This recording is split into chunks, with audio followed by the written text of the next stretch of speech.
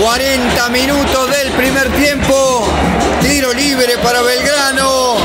Luego de la confusa situación que se vivió hace unos minutos. Con dos jugadas casi consecutivas.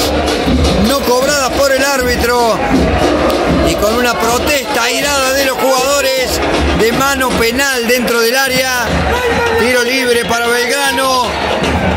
Minutos de este primer tiempo. Viene el centro a las manos del arquero ferroviario.